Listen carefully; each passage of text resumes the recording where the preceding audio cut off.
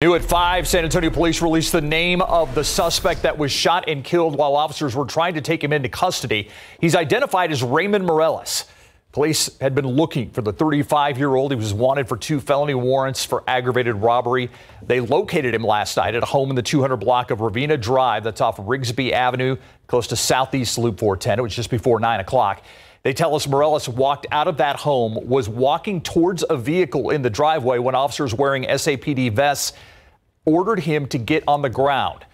Detectives say Morales did not comply and instead grabbed a gun from his waistband and pointed it at officers. That's when two officers fired their weapons and shot Morales. He was taken to the hospital where he was pronounced dead. No officers injured in this confrontation. Thank you for watching KSAT. If you're watching on YouTube, be sure to like and subscribe so that you can stay up to date with San Antonio's latest news and weather.